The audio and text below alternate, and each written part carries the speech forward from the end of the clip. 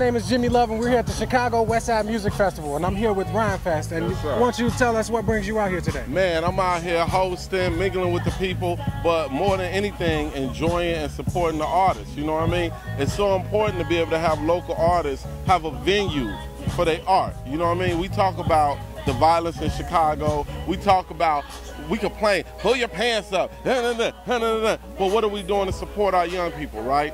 So there's, we know there's way more young people that graduate from high school than shoot.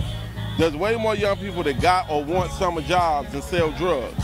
So here, we, here they are performing, showing their art. We need the community out here. And this ain't just about the west side, this is the city of Chicago. City of Chicago. You heard it from the It man. It just happens to be on the west side. Hey, uh, that's what I like to Yes, hear, man. sir. So we here again. We're here with Rhymefest at the Chicago West Side Music Festival. You make sure you get your butt down here. We're here at Douglas Park right now. Come on. Right now. Let's go.